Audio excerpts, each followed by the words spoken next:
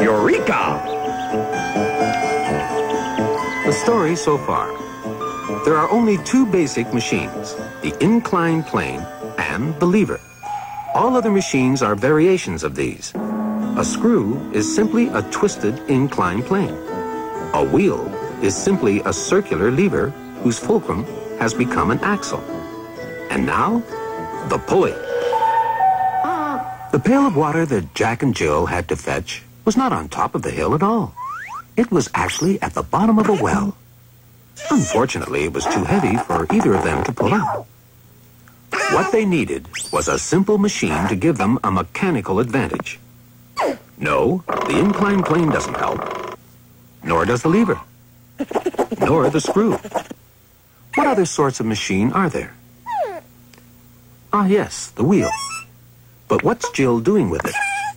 She is arranging the wheel so that it will revolve on an axle stuck in that post. Very good. Jill's just rediscovered another sort of simple machine. A wheel that instead of being all of a piece with its axle, can revolve freely around an axle. Since this type of wheel is used mainly for pulling things, it's called a pulley. And Jill can hitch the rope around it and use it to pull. No, Jack can use it to try to pull the pail of water up. That's funny. He needs just as much force to try to pull the pail of water up this way as he did trying to pull it up the other way. Hmm. I wonder if there's a better way of rigging the pulley. Amazing. How did Jill manage it? Both she and Jack only had one pulley to work with, and yet Jill was able to pull up the pail with half the force that Jack needed. Well, when a pulley is set up like this, it's called a single fixed pulley.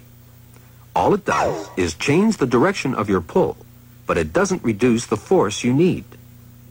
But when a pulley is arranged like this, it's called a single movable pulley, and it halves the force you must exert because the pail of water is now, in effect, being lifted by two ropes instead of one. It's as if two people were lifting the pail. And it looks as if we're getting something for nothing again, doesn't it? But of course we're not. If we compare the distance that Jill raised the pail with the amount of rope she pulled, we see that it's the same old story. What she's gaining on the force, she's losing on the distance. The distance that she pulls the rope is twice the distance that she raises the pail. But the way Jill used the pulley is still twice as effective as the way Jack used it. There are lots of other ways of combining pulleys, and it's simple to figure out the mechanical advantage of each system. All you do is count the number of ropes supporting the weight. This single fixed pulley has one piece of rope supporting a weight of 600 newtons. Input force 600 newtons. Output force 600 newtons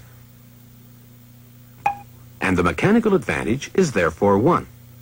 There isn't any mechanical advantage, in other words. This single movable pulley has two ropes supporting the weight. Input force, 300 newtons. Output force, 600 newtons. Mechanical advantage, 2. Here's a system with three supporting ropes. Input force, 200 newtons. Output force, 600 newtons. Mechanical advantage, 3. This one also has a mechanical advantage of 3, and is, in fact, the pulley system that Jill finally rigged up for herself.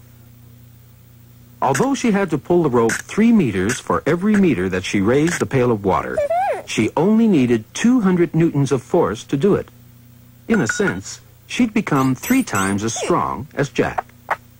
And now you know why Jack fell down and broke his crown.